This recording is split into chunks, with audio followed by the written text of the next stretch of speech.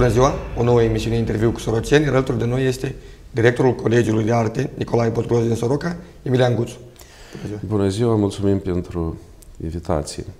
Emilian este de câțiva ani sorocean, de fapt, dar vii, de fapt, mai de la nord. Spune-mi mai mult despre baștina ta.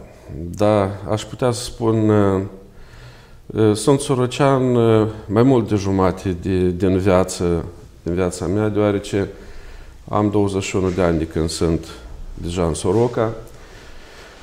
Vin de la Ocnița, satul Bârnova, acolo unde am copilărit, unde am făcut primele studii în școala din satul natal, unde am studiat la școala de muzică, acolo unde sunt părinții, unde am avut bunei care au contribuit la creșterea și formarea mea.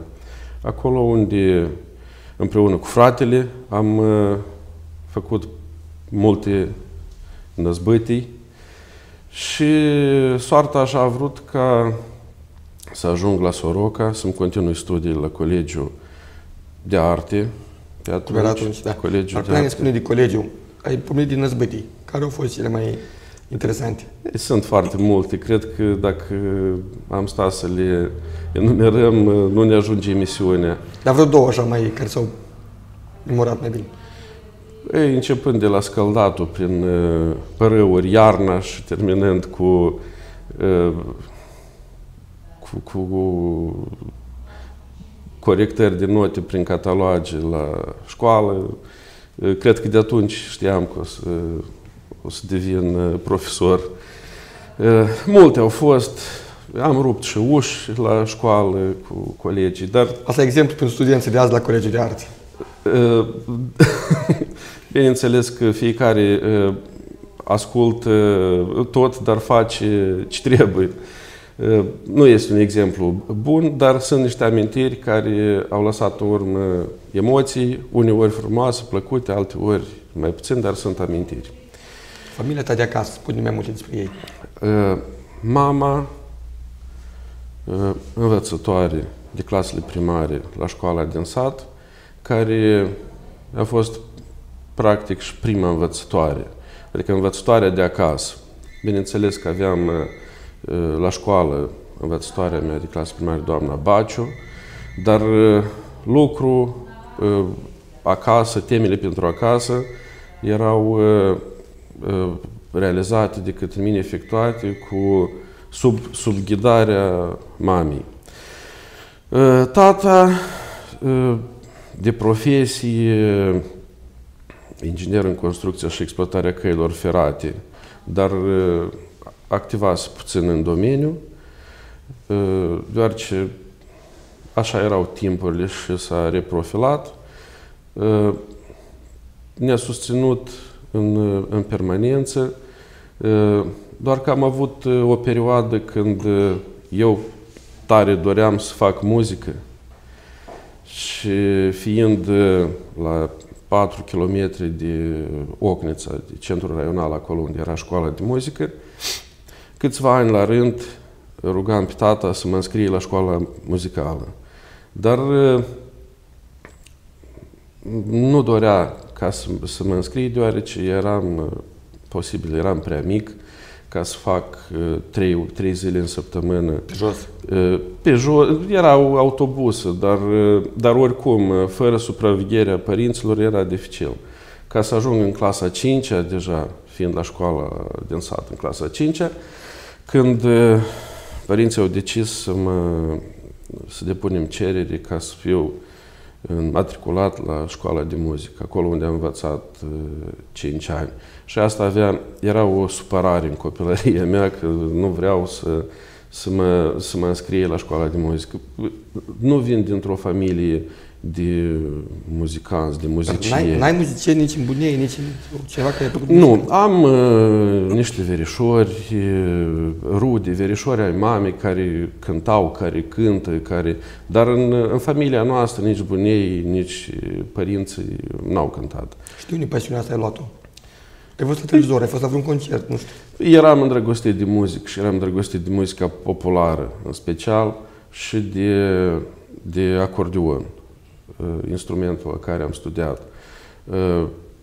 Erau, vedeam la televizor un acordeonist interpretând ceva și stam și mă uitam și rămâneam permanent frapat de, de nivelul de interpretare și vroiam să fac, vroiam și eu să fac muzică și anume la, la acest instrument.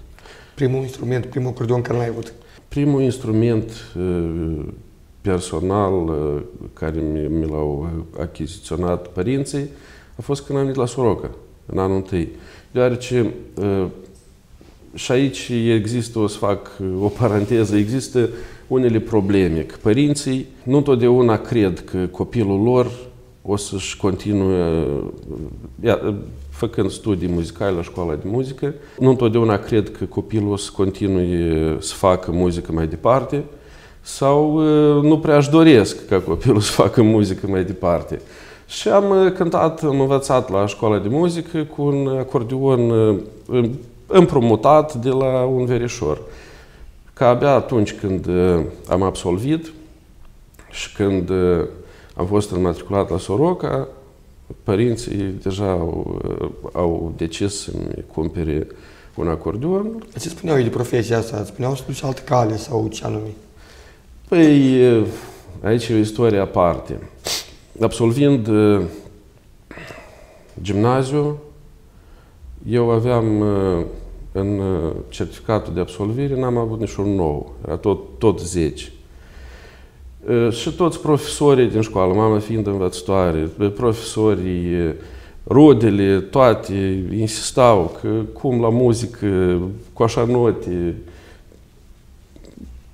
Dar eu vroiam, vroiam să fac asta. Și am ajuns până la un moment când, stând pe prag acasă, plângeam că nu, nu știam între ce să aleg, între muzică sau economie. Că stăteam cu abiturientul, cu revista Abiturientul, cumpărasem și alegeam instituțiile unde aș putea să-mi continui studiile. Că nu vroiam să merg la liceu, mai departe, categoric.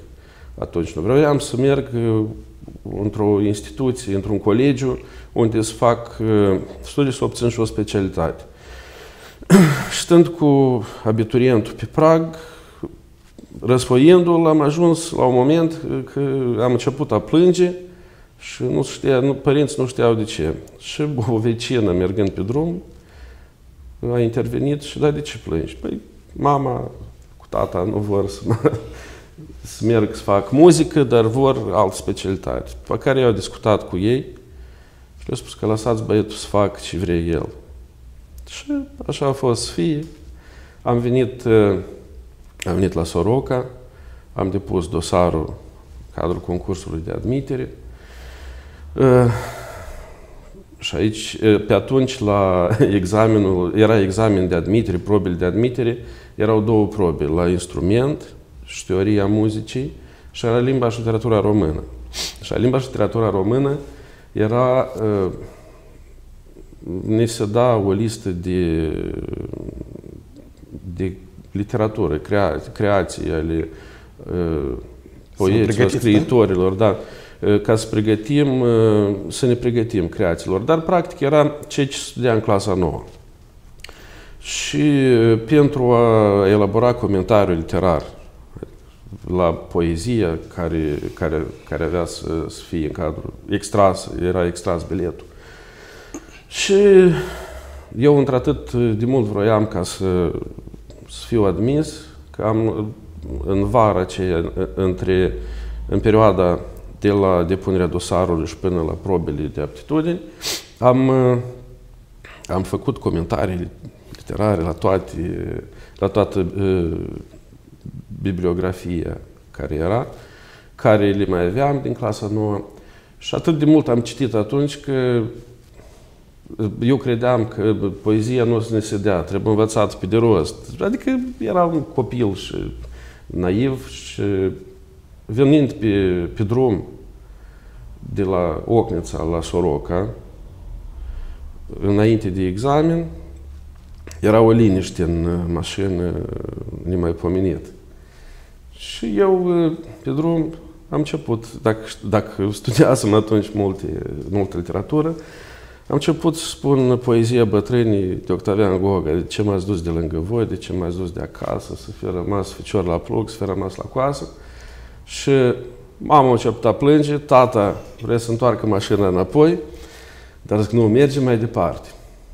Deci, cu lacrimi în ochi mi-au lăsat la Soroca, a doua zi examenul de admitere, domnul director Petru Moisei avea mai multe plicuri cu comentariile, adică la ce creații să avem comentarii și Ion, colegul meu, Ion Rotari, extrage biletul, comentariu literar la poezie bătrânii de Octavian Goga. Asta a fost o, nu știu, adică și am scris comentariu foarte bine că eu am, am uh, trăit uh, versurile cele. Pe care au continuat studiile cu succes, cu profesori buni. Uh, am fost susținut mereu de, de, de profesorii mei, de răposatul Victor Postolache, de Ion Rotari, profesor de acordeon, de răposata doamna Maria Biciuc, de profesoara Raisa Ciumac, de domnul Dominic Gheorghe, care ne, ne susținea mereu și ne, ne ajuta și la bine și la, și la greu. Bineînțeles că uneori noi eram și noi cei mai sfinți și mai ales în artă. Da, mai ales în artă. Mai ales în artă. Eram și noi copii și permanent am rămas și acum în o parte din, din, din noi am rămas acolo în copilărie. Și permanent cu sfaturi, cu îndrumări ne, ajuta, ne ajutau și am ajuns unde am ajuns. Primii pași, când ai văzut colegiul, ce te-a impresionat? Nu știu ce... Primii pași când am văzut colegiul, pare straniu, dar să vă spun, eu nu auzisem, nu știam până atunci că la Soroca există un uh, colegiu unde poți face muzică. Uh, nu știu, sau că uh, cei de la Ocnița mergeau mai mult la Bălți, la Colegiul de Muzică și Pedagogie din Bălți, care aveau posibilități mai mari, aptitudini și, și financiar și își puteau permite, mergeau la Chișinău, la Colegiul de Muzică Ștefan Neaga, Ă, dar de Soroca nu, nu, nu auzisem. Și un, ă, tot un, un cunoscut, un verișor de mami, ne sfătuit să venim la Soroca să încercăm. Și am ajuns aici. Până atunci mai fusesem o dată la cetate, în excursii cu școala, prin clasa a 6 a 7 Și rămânând impresionat, impresionat de cele văzute, ă, dar fiind copil, când, când am venit prima dată la admitere, închipuiam că soroca asta e cetatea și câteva case în, în jurul ei.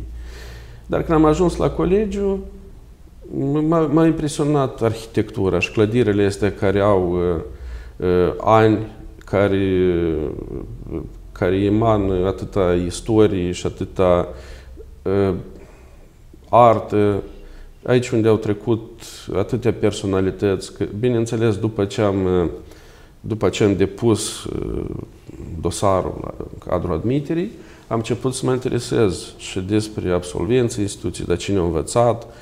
Uh, atunci aflasem că și maestru Nicolae Botgros a învățat aici.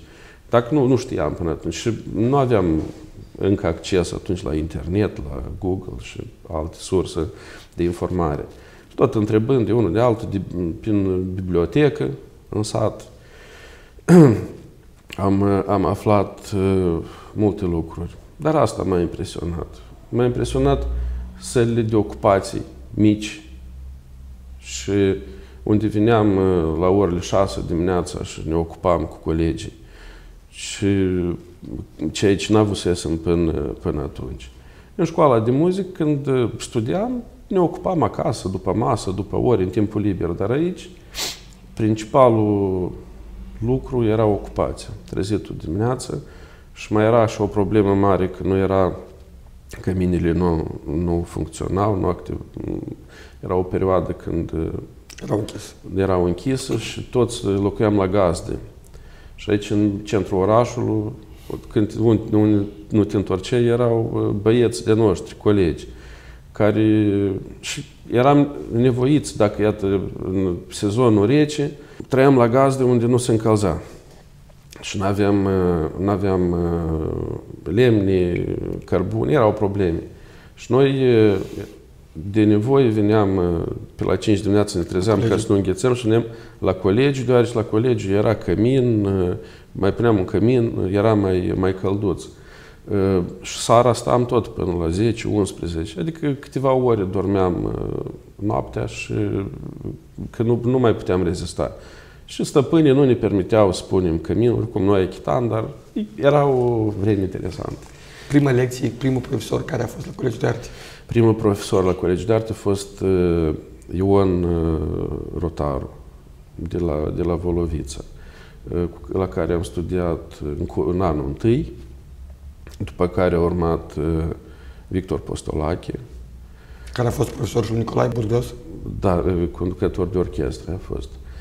Ehm, după care am uh, studiat, uh, Victor, domnul Victor Postolache se îmbolnăvise și am studiat la uh, domnul Roman Petrovici. După care, deja în anul 4 și la profesorul care, la care am absolvit, domnul Iuri Kovalski, profesor de la școala de, de arte, dumnealui activa prin cumul. Practic, în patru ani de, de studii am trecut prin uh, mâinile a patru profesori. Este, uh, nu este bine să studiez la, la mulți profesori, deoarece fiecare are stilul lui, stilul lui metodica lui. Uh, și, dar aș, așa era situația, că nu depindea de, nici de profesori, nici de, nici de mine. Dar prin muncă, prin ascultam pe fiecare. Este foarte spune, bună, da, diversitate. Da, am avut uh, o diversitate de, de păreri, de metodici, de, de sfaturi și în baza la care m-am, uh, m-am format și eu ca, ca profesor de, de instrument de cotor. La absolvire ce ai decis? Da, la absolvire am decis să rămân la Soroca, cu toate că atunci repart...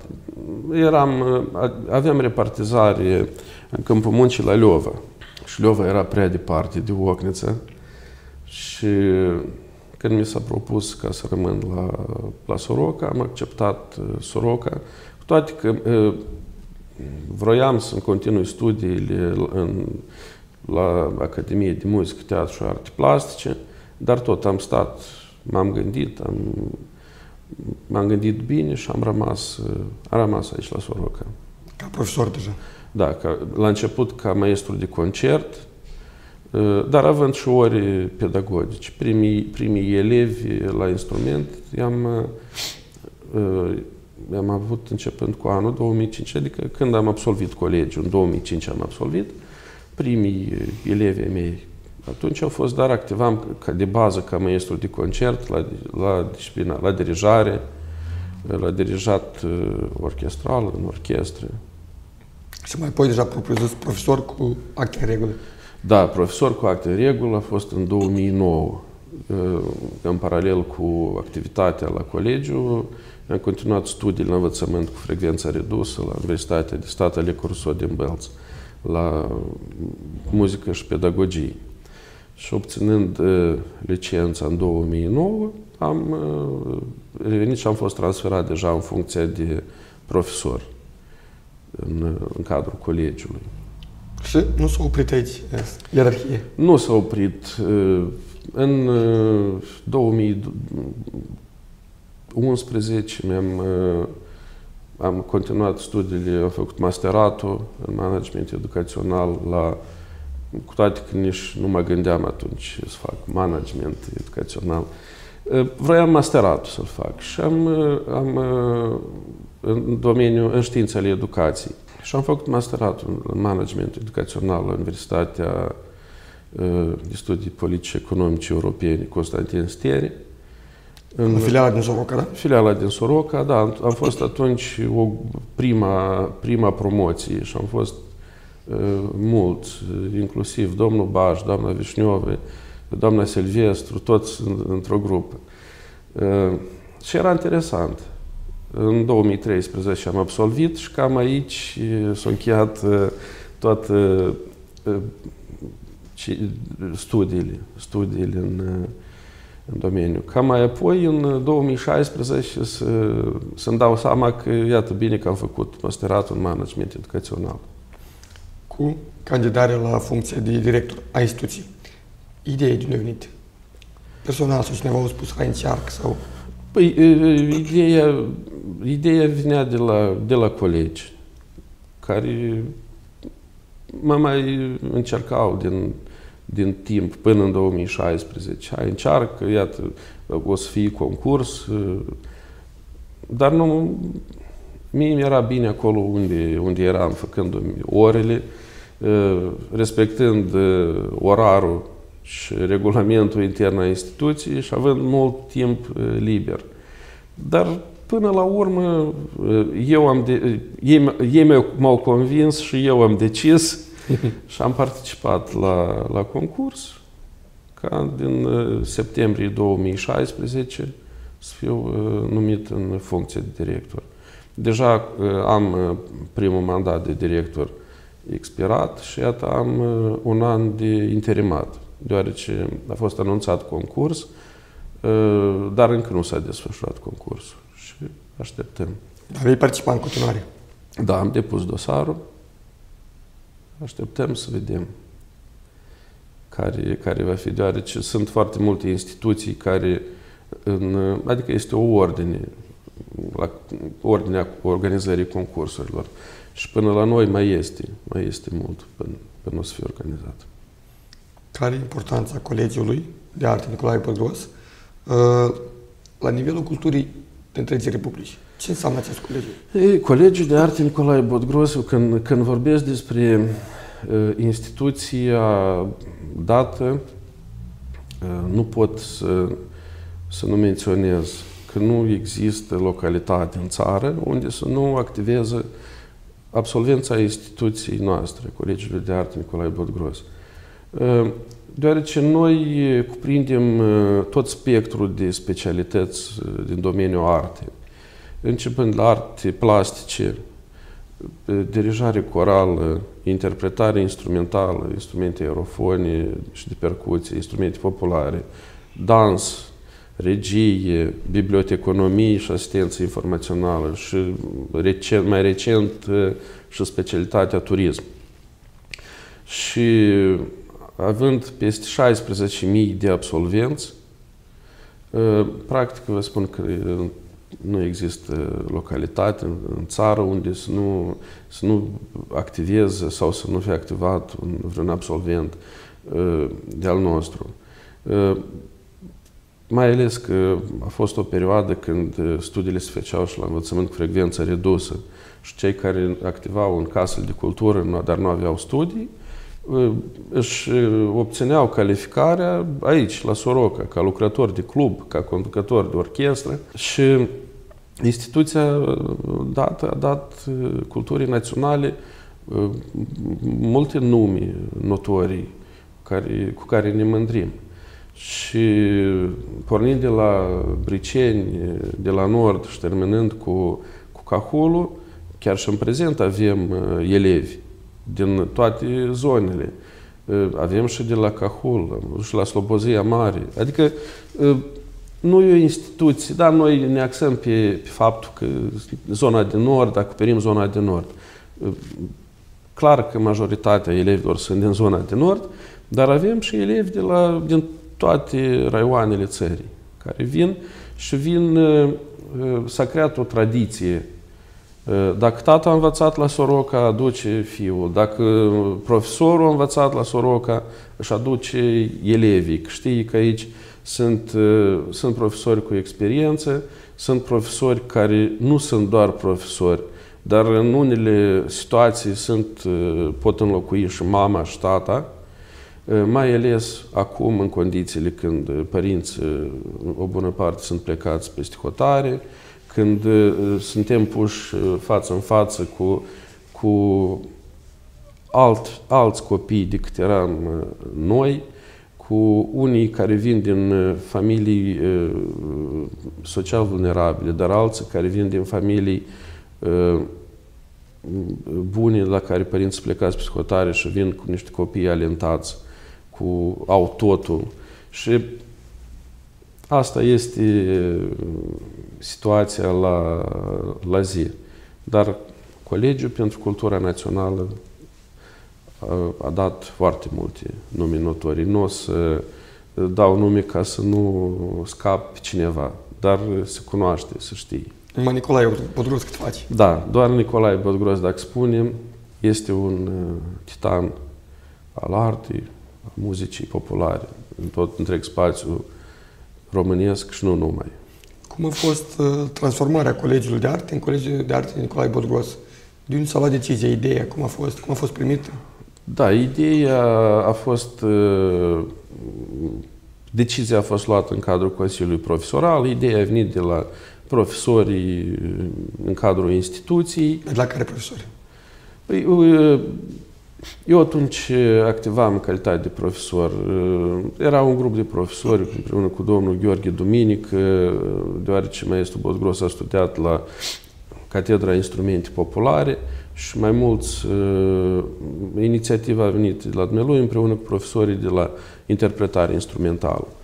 Și s-a decis în cadrul Consiliului Profesoral, s-a înaintat un demers uh, către Ministerul Culturii atunci și s-a a fost uh, aprobată modificarea dată. Și din 2014 instituția poartă numele maestru Nicolae Bodgros. Cu ce, cu ce ne mândrim? Sper că se mândrește și el care și un colegii care poartă numele. Da, sperăm și noi. Aveți, apropo, careva colaborări de când el este patronul spiritual al colegiului? Uh, da, dumnealui uh, de fiecare dată când are o ocazie de a, fi, de a se afla în Soroca, de fiecare dată vine la colegiu. Uh, se organizează întâlniri de suflet cu, cu elevii noștri, vine dumnealui, mai vin și alți absolvenți, tot personalități marcante, precum Boris Rudenco, și organizăm întâlnirile astea cu, cu elevii. Când vin lăutarii la Soroca, dacă se organizează concerte cu, cu plată, elevii noștri sunt privilegiați și pot merge la spectacol fără, fără a achita taxa. Și asta tot cu suportul dumnealui. Bineînțeles, dumnealui este supra-solicitat și supra-ocupat, dar uh, când are uh, posibilitatea de a contribui cumva la, pentru elevi, pentru profesori, pentru instituții, o face și îi mulțumim. Prin ce se deosebește Colegiul de Arte Nicolae Budgos față de alte instituții de profil din Republică? Colegiul de arte se deosebește foarte mult, că la Colegiul de arte noi suntem acasă. Dar în alte instituții noi suntem uh, străini. Toate instituțiile sunt bune. Da, dar poate aveți ceva un atu, ceva care nu la Soroca este doar aici. Păi așezarea geografică, Nistru, cetatea, uh, atracție turistică, uh, centrul orașului, clădirile astea care par a, a răschituri, dar care, după cum am mai menționat, au atâta istorie în ele și de fiecare dată când vin foștii absolvenți care au absolvit cu 40 de ani în urmă, cu 30, cu 50 de ani în urmă, cu lacrimi în ochi, își amintesc de, de zilele petrecute, petrecute aici. Și în asta e farmicul, farmicul instituției în, în asta. Da, dar o deosebire, dacă am vorbit despre program, programe de studii, ă, că noi cuprindem întreg spectru de specialități din domeniul arte, ceea ce în alte instituții nu este. Spre exemplu, specialitatea biblioteconomie și asistență informațională este doar la Colegiul de Arte Nicolae Botgros, ă, căci practic de aici s-a pornit ă, în 1940 instituția ca, ca tehnicum de bibliotecari. Ei, bine, la început era o școală de iluminare politică, după care au urmat modificări. Și specialitatea regie, care tot doar la noi este. Adică prin asta și prin asta ne, ne deosebim, ne diferențiem. Cu elevii, cum stați ultimii ani, ultimii ani? Mai puțin, mai mulți? Care este În uh, ultimii ani stăm... Uh, planul de admitere îl, uh, îl acoperim. N-am avut, uh, nu am avut probleme. În anul, în admiterea curentă, admiterea 2022, uh, nu ne-a fost uh, aprobat plan de matriculare la două specialități, ceea ce ne-a afectat foarte mult, anume la prelucrarea artistică a materialelor și la dirijare corală. Dar de ce? Deoarece planul, planul de admitere pe, pe țară, în învățământul profesional tehnic, prevedea doar 15 locuri la dirijare corală. Adică astea 15 locuri, de fapt și în anii precedenți era așa, dar în, se, se divizau patru locuri erau repartizate la Colegiul de Muzică și Pedagogie din Bălți, patru locuri la noi și restul erau la Ștefan Neaga. În, an, în anul precedent, noi ne-am confruntat toate instituțiile, mai ales instituțiile din do, domeniul arte, cu deficitul de finanțe. Au fost foarte multe probleme și Ministerul a considerat că nu este eficient a, a face orele astea la grupa de patru persoane cu toate că noi organizăm procesul educațional în Torente. Nu facem grupa din 4, dar grupa tot din 25, doar că la specialitate merg 4. Și din considerentul ăsta au fost date toate 15 locuri la Centrul de Excelență Ștefan Neagă. La arte plastice aceeași, aceeași situație, dar vedem cum va fi anul ăsta ce cheltuieli suportă instituția față de un elev pe mediu. Fiindcă la voi totuși nu e ceva standard ca la altele. Multe dintre uh, părțile practice au loc doar un elev cu profesor sau chiar cu doi profesori, cu un da, maestru. Da. Ca să, uh, finanțarea instituției se realizează în conformitate cu hotărârea Guvernului 1077 din 2016. Și fiecare specialitate are coeficientul său. Uh, cei mai scumpi Adică, ca finanțare, sunt elevii la interpretare instrumentală, pentru care, pentru care Ministerul uh, alocă, uh, aproximativ o să vorbesc acum, uh, la 55.000 de lei pe an. Și cei mai ieftini... Pentru fiecare persoană. Pentru fiecare elev. Cei mai ieftini sunt elevii de la ieftini în sensul investiții. investiții. Elevii de la specialitățile ori sunt organizate în, în grup, la biblioteconomie, la turism. Aici era 16.000 de lei pentru un elev. Din anul 22, la 1 ianuarie 22, au fost unele modificări și a crescut de la 16.000 la 27.000 și, de la, și cei de la interpretare au ajuns la aproape de 80 de mii. Dar în mediu, dacă să facem un calcul pe instituții, să adunăm toți elevii și împărțim la mijloacele financiare alocate, iese la 66 de mii un elev. Plus, minus. Iată, asta e ceea ce ne face mai diferiți decât alții. Dar Orele sunt uh, ore individuale, unde nu poți studiezi un instrument în grup, uh, canto, nu poți face în grup. Adică sunt, sunt lucruri specifice uh, specialităților date. Problemele principale ale instituției care sunt? Problemele principale ale instituției sunt în baza tehnico-materială, în primul rând, că nu, nu ne putem permite uh, Uh, o reparație capitală. Având, fiind permanent în, în situațiile astea de, de insuficiență de mijloace financiare, uh, noi din 2019, toate instituțiile de învățământ profesional tehnic au fost trecute la autogestiune financiară. Și uh, la, ni se aprobă mijloacele financiare pentru anul anul în gestiune, în perioada lunii ianuarie, ne se aloc mijloacele și noi, noi aprobăm în cadrul Consiliului de Administrație bugetul.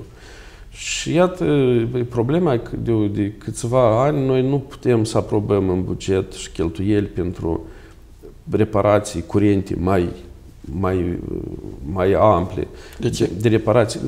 Că nu ne ajung mijloace, ajung pentru, strict pentru instruirea elevilor, pentru salarizare, pentru dotare sălilor.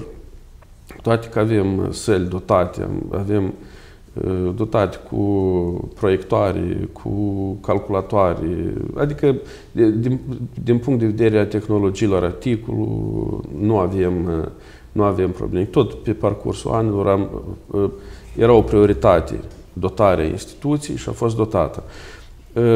Altă problemă foarte mare, că suntem în, în secolul 21 și instituția nu are bloc sanitar intern.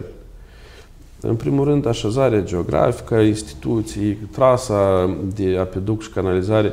La, apă, la apeduc suntem conectați, dar la canalizare nu. Și este o problemă tot foarte mare și am bătut clopotele din, încă din 2016. Și atunci când fondator era Ministerul Culturii. Și parcă, parcă, parcă început să, ceva să, să, să rezolve, dar ministerele au fuzionat și s-a, s-a risipit uh, toate discuțiile și tot, tot ce s-a făcut până atunci. Într-o parte, pentru voi, parcă ar părea benefic fuzionarea. Și Ministerul Educației și Ministerul da. Culturii, tot în una, voi vă spuneți la unul și... Da, da, dar acum, acum, chiar dacă ministeriile au fost divizate, noi am rămas la Ministerul Educației. Noi nu, nu suntem la subordonat Ministerului Culturii. Am rămas la Ministerul Educației și activăm mai departe. Sperăm ca uh, alocările mijloacelor financiare să acopere cheltuielile reale și să putem depăși problemele care ne confruntăm. O problemă care, iată, va fi, și asta nu este o problemă noastră a instituției, este problemă la nivel mondial, criza gazelor naturale. Căminul se încălzește pe gaz. Noi nu știm, uh, vom avea gaz, noi nu știm uh, dacă vom avea la ce preț va fi. Anul trecut, de exemplu, cât a crescut în comparație cu alți ani? Da, a crescut uh, considerabil, dar Ministerul ne-a, ne-a acoperit cheltuieli, surplusul de, de, de cheltuieli. Și exact așa și acum. Iată, ar urma ca să începem sezonul de încălzire la, la cămin, că locuiesc copiii și îi vin zile când e frig, e rece noaptea. și asta este o problemă la zi, chiar la moment. La... cum o veți rezolva? Aveți o soluție, ceva, fiindcă gata iarna e aproape? La cămin nu există alternativă de încălzire decât pe gaze. Sperăm să fie totul bine și să ne încălzăm pe, pe, pe gaze. La colegiu problema nu există. La colegiu noi încălzirea este pe combustibil solid, pe cărbune, biomasă. Noi am achiziționat cărbune când prețul era accesibil în, în primăvară. De fapt, în fiecare an așa facem. Cum încheiem sezonul de încălzire, atunci... Cât sunt bani în buget? Cât sunt bani, atunci, atunci cumpărăm. Că dacă ajungeam acum să cumpărăm cu prețul care este, tot avea să fie destul de, de problematic. Și la, la colegiu nu, este, nu există probleme cu încălzirea, o să fie. Dar la cămin vom vedea. Dar vom uh, depăși toate obstacole, așa cum am trecut și peste pandemie și cum profesorii stau până la orele 1-2 prin cămin și supravegheau uh, elevii să nu circule de pe un etaj pe altul, că erau izolați sau cum profesorii uh, aveam câte un nivel uh, în carantină și profesorii noaptea când celelalte etaje dormeau, noaptea la orele 1 le permiteau la ăștia să iasă afară să tragă o gură de aer. Adică niște lucruri, niște lucruri care da, erau încălcate unele prevederi ale uh, comisii CSP-ului, dar uh, sunt niște factori umani, nu poți să ții 14 zile pe un nivel închiși 30 de băieți fără ca să răsufle aer curat. Dar am depășit situația cu bine și sperăm și toate problemele să le depășim. Să fie. Ce parteneriate, ce colaborări aveți? Parteneriatele firești, adică care pot să le aibă o instituție de învățământ. Avem parteneriate cu secțiile cultură din uh, alte raione, din raionul Don Dușeni, spre exemplu, Sângerei, Drochia, Șoldănești. Șoldănești, iată. Am Soroca, nu mai spun. Soroca nu mai discutăm. Avem și parteneriat cu Consiliul Raional Soroca chiar, care avem foarte multe uh, lucruri organizate în comun și care ne susțin, chiar dacă nu suntem o instituție subordonată Consiliului sau Direcției Învățământ, suntem uh, înțeleși atunci când uh, apelăm, ne, ne ajută, ne susțin. De fiecare dată diferit, când trebuie cu mijloc de transport, cu mijloc de transport, când trebuie deplasat la un concurs, la un concert. Adică avem parteneriate și avem relația asta bine pusă pe, pe roate. Aveți colaborări psihotare? Avem și colaborări psihotare cu instituții de la Piatra Neamț, spre exemplu. Unde a să participe des Da, unde participă la concursuri. Și sunt întorc înapoi, nu cu mâna goală. Da, nu câștigă premii de, de asta că avem parteneriat. Nu, câștigă premii că, că participă și demonstrează. Da, cu, cu Colegiul de Muzică, Național de Muzică Octav Băncelă de la Iași, unde de asemenea mergem la concursuri de, de interpretare instrumentală, instrumente aerofone cu Suceava, Universitatea de la Suceava, acolo unde fratele activează. Avem niște, niște parteneriate care sperăm să fie pe urmă implementate și să dă rod. Adică vorbim la moment doar de niște uh, acte, niște hâr- hârtii semnate, dar care deocamdată n-au dat uh, rezultate. În schimb, rezultate au dat uh, colaborați, spun așa, cu diaspora din Franța? Da, da. E cu diaspora din Franța, acolo tot este o, o pagină aparte, că uh, am primit din Franța trei instrumente, o vioară și două piane, uh, care uh, mai rar, așa cadouri, uh, ca să achiziționez un pian acum pentru instituții, costă de la 70.000 de lei și mai mult. Uh, și starea în care sunt instrumentele date, adică nu este un instrument care a fost aruncat undeva și l-au luat și l-au transmis, dar este un instrument uh, păstrat. păstrat. Și mulțumesc domnului Sergiu Seinic. Uh, datorită lui au ajuns uh, la Soroca, deoarece Sergiu Seinic este un verișor al verișorului tat, tatăl meu. Și el m-a sunat, uite, Emil, aici noi lucrăm, așa, am găsit pianul, vioară. Nu vă trebuie vouă. De la mine deodată problema apare în, în transport, cum, cum să-l aduc. Deci, nu-ți fă griji, noi ți-l trimitem, spune unde, la Orhei. Și noi ne-am deplasat uh, la Orhei și ne-am adus la Orhei acasă. Și mulțumesc foarte mult, că mai rar așa, așa cadouri. Și ei nu sunt uh, absolvenți a instituției noastre. De obicei, moldovenii sunt deprinși că dacă o, o găsit ceva sau, cum să spun, eu chicat ceva, să-l vând repede, să vândă repede și să, fac, să câștige un ban. Dar iată că nu toți sunt așa. S-au gândit că pianul ăsta poate să, să ajute la formarea unui specialist, la unui copil, la unui elev sau vioara de asemenea elevii din ziua de azi mai norocoși ca voi, fiindcă au acces la cămin. Da. Căminul care e situația și aveți practic spațiul locativ e ocupat. Știu, că mai este un bloc care nu e nereparat, da? Da, este un bloc, este căminul numărul 2, care este, n-a fost reparat, care este într-o stare deplorabilă, că așa e, așa este, din 97 el nu mai funcționează. Căminul, bineînțeles, ca, să, ca să-l repari, să-l, să faci o reparație capitală, este nevoie de investiții foarte mari, ceea ce instituția nu își poate permite. Dar cu pe ani ce trece, cât mai mult rămâne, și mai mari investiții va trebui. Da, dar uh, erau solicitări de a fi trecut la balanța primăriei, la balanța Consiliului Raional, uh, dar așa și s-a rămas tot la discuții, la uh, nu s-a, nu s-a mers mai departe. Noi am scris scrisori la Ministerul Culturii, pe urmă la Ministerul Educației, Culturii și Cercetării, dar așa și așa și e problematic căminul, căminul acela. În Soroca este o criză de gaz, deci dacă ar fi un parteneriat public-privat, chiar să fie pentru familii contraplată, da.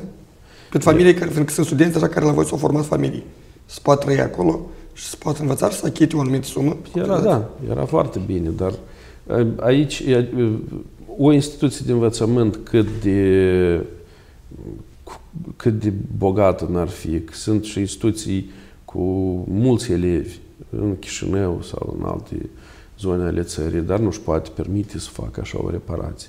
Aici trebuie cu, cu implicarea Ministerului, cu implicarea Ministerului, cu investiții, cu, cu, cu decizia lor. Unde și cum ai făcut cunoștință cu viitoarea doamnă Guțu? Noi am făcut cunoștință la Belț. Când făceam studii la Universitatea de Stat Alecu Rousseau din Belț, acolo am făcut cunoștință, fiind în anul, în ultimul an, în anul 4. Eu eram mai, mai mic, cu în anul 2.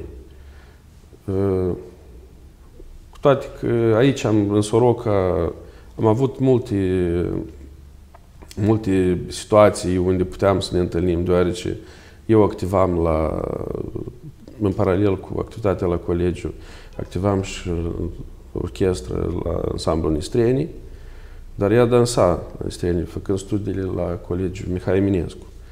Și pe atunci la mine toate dansatoarele erau... Pe o față? O față, da. Și n-am cel puțin în Soroca nu ne-am cunoscut, ca să ajungem la Bălți, să ne cunoaștem, să ne împrietenim, să ne întâlnim așa ca... Plăcitea cucerit la Bălți, ce a fost așa, pe ce a fost mai deosebit? Păi, nu știu, poate că trăirile astea, emoțiile, eram în anul 4 și erau foarte mult, aveam foarte mult nevoie de timp de ocupație. Și mă aflam mai mult în cadrul, în cadrul universității, în cadrul sălilor de, de ocupații și ea tot era să ocupa uh, vis-a-vis, în alt, în, în alt auditoriu. Și mai ieșeam afară, ne întâlneam pe coridor și... Bună ziua, bună ziua! Bună ziua, bună ziua! Și până am aflat, aveam cunoscuți comuni și nici nu știam că este de la Soroca. De unde e fata asta? De la Soroca. Cum de la Soroca? Păi, și așa am făcut cunoștință. După care în 2012 uh, am decis ca să formăm uh, o familie.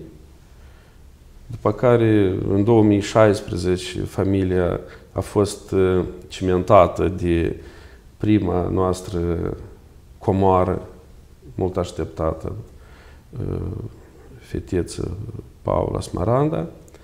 Și mai recent, în 2021, de cea de-a doua, de Antonia Ioana, care sunt sensul vieții, bucuria noastră și atunci când vin acasă, uit de tot ce se întâmplă în în, în jur, de, de colegiu, de toate problemele cu care ne confruntăm, că ă, când le vezi și când ă, nici n-ai timp să te gândești altceva, că ele te atacă cu întrebări, cu, cu îmbrățișări, cu povestiri și cu tot. Și, Următorii la rând băieți, am înțeles că? Ă, păi, Dumnezeu este mare și le va aranja pe toate așa cum trebuie. Numele cum le-ați ales? Cred că sunt nume mai, nu, mai deosebite decât care obișnuite. Păi, în primul rând, uh, ne-am orientat la ziua când s-au născut atât Paula uh, cât și Antonia, că așa le spunem acasă.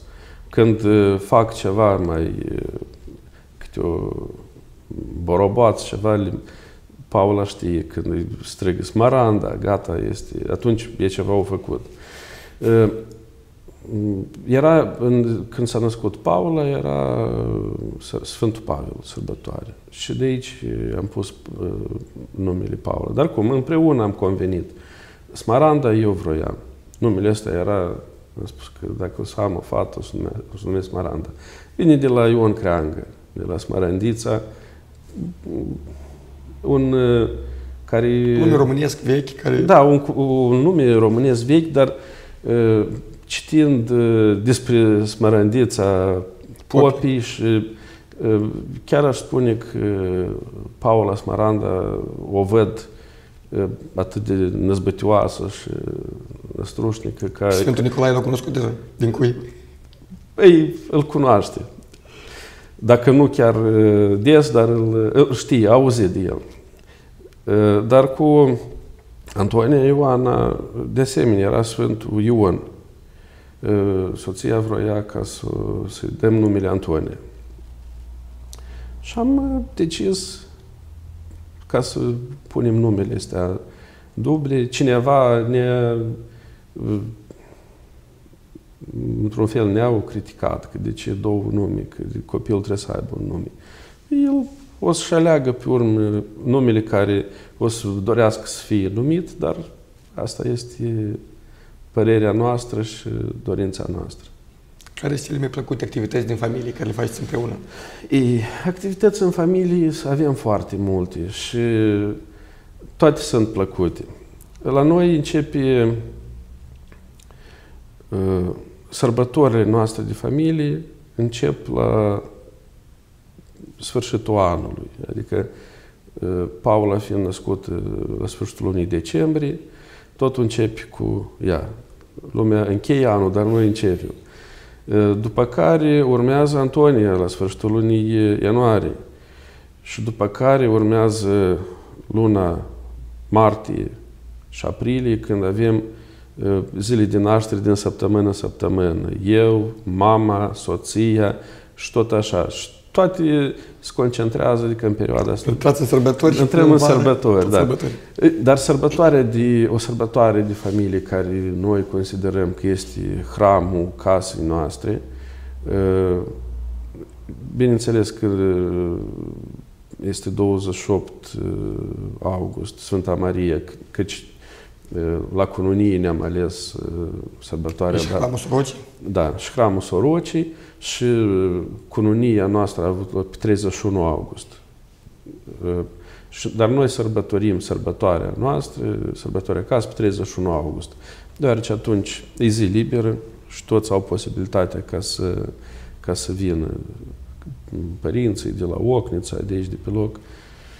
Și asta este o sărbătoare familie când ne întâlnim. Și plus la asta ai posibilitatea de a o sărbători nu neapărat acasă, în, în casă, la masă, dar poți să ieși la natură undeva. Deoarece vă spun că toate, restul toate sărbătorilor trebuie să le faci în casă. Că e iarnă, e frig și ne adunăm în, la călduță. La călduță, da. Mulți dintre oameni de cultură au rămas pe loc, inclusiv din profesori de la colegii de arte, datorită nunților, datorită cumătrilor, evenimentelor. Altfel salariul nu ajunge. Ești tu în chestia asta, cât de important sunt nunțele, fiindcă pe de-o parte e altceva, trebuie nu doar nopțile, dar în altă parte e o sursă de, nu știu, de asigurare. Sau cum o vezi? Nunțele sunt o sursă foarte bună de, de asigurare materială, cu toate că aș spune că bine, chiar dacă n-ar fi, iată, pandemia ne-a demonstrat că pot să existe și viață fără de nunți, botezuri, cumătrii, dar aveam un loc de muncă unde salariul venea în fiecare lună pe card și ne, ne adaptam la venitul care îl aveam. Mm. Având nunți cu mătrii, deja poți, așa să spun, puțin să te răsfeți, să, să-ți permiți mai multe. Dar petrecerile astea private constituie un, o foarte bună sursă de venit și contribuie foarte mult la viața familiei. Ne considerăm tineri atâta timp cât avem un credit de, de achitat lunar. Și nu suntem nici noi excepție, căci de la salariu la salariu nu poți strângi bani să-ți cumperi un apartament, casă și așa mai departe. Și iată că petrecerile private, nunțele, botezurile, cu mătriile, contribuie la bugetul familiei destul de, de esențial. Și poți să-ți faci unele rezerve, poți uh, să mergi uh, cu familia la odihnă, adică e altceva decât uh, să stai în, doar, doar la serviciu. Cu toate că, mai repet, ani, doi ani de cât am stat în pandemie și am stat fără nunți, botezuri, cu mătrine a demonstrat că putem, putem să economisim și din mai puțin și putem să ne organizăm viața și, și din ceea ce avem. Sănătate să fie. Sănătate să fie și pace, da. Și pe Emilian Guțul a rugat să ne aduc trei fotografii importante despre care să ne vorbească. Te rog. Așa. Prima fotografie este eu cu părinții și fratele, familia, familia de acasă, de la Ocnița. Aici, aici este o poză din anul 1994, când fratele Vasea, Vasiuca, cum spunem noi, a împlinit uh, jumate de an. Uh, este o fotografie, că țin minte și acum, este o fotografie uh, făcută la un salon uh, foto la, în rusă, la Dom Băta.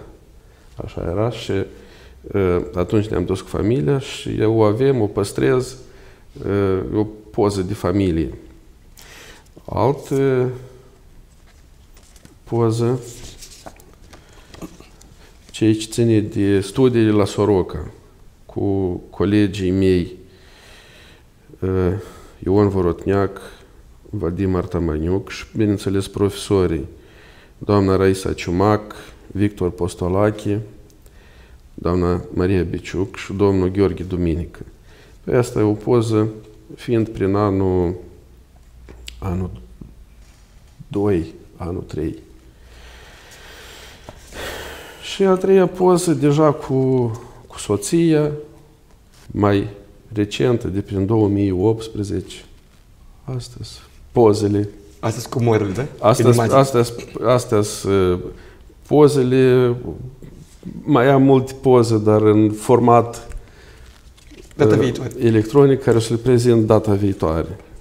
Mulțumim pentru participare, spor la dezvoltarea și promovarea culturii, atât profesorilor cât studenților și ne bucurăm că Soroca devine sau rămâne o capitală culturală, inclusiv datorită Colegiului de Arte Nicolae Părgos. Mulțumim, mulțumim de invitație și voi uh, invitați cât, cât mai mulți și promovați uh, Soroca cât merită. O zi frumoasă să aveți!